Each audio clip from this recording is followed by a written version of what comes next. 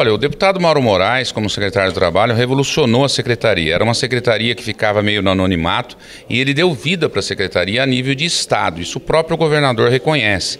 E ele oferece o que mais o cidadão precisa. O que, que é? É aquilo que a gente sempre fala, qualificação profissional. O ser humano que tem qualificação profissional, ele vive em qualquer lugar do mundo. Ele não vive em qualquer lugar, em qualquer cidade, ele vive em qualquer lugar do mundo. Né? Um bom pedreiro hoje tem serviço em qualquer lugar do mundo. Um bom encanador, um bom costureiro, e é isso que o Mauro Moraes, através da sua secretaria, tem feito no Paraná todo.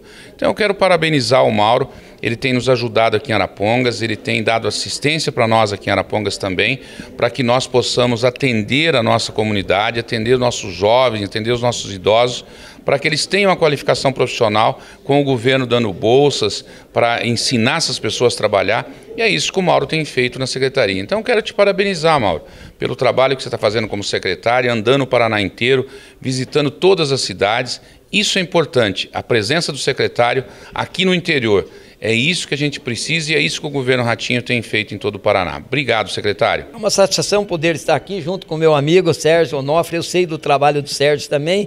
Eu assumi a secretaria, né, justamente por ser a secretaria do trabalho. E recebi uma missão do governador de transformar a Secretaria do Trabalho e o nosso estado no maior celeiro de empregabilidade do Brasil. E estamos conseguindo isso. Hoje, no sistema de Cine, que é o de Agência do Trabalhador, nós temos o primeiro disparado, ganhando de São Paulo, Minas, de Rio de Janeiro.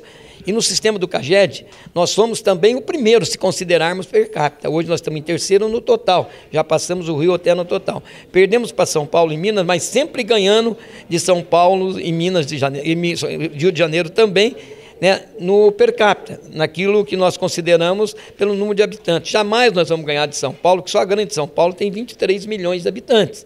Então nós estamos ganhando sim. Hoje o Paraná é o estado que mais emprega em todo o país, se nós considerarmos o número de habitantes. Então a missão que o governador nos deu, nós estamos cumprindo exatamente por aquilo que eu ouvi do próprio Sérgio, prefeito, de que eu percebi por vários indícios que o que faltava no Paraná era a qualificação.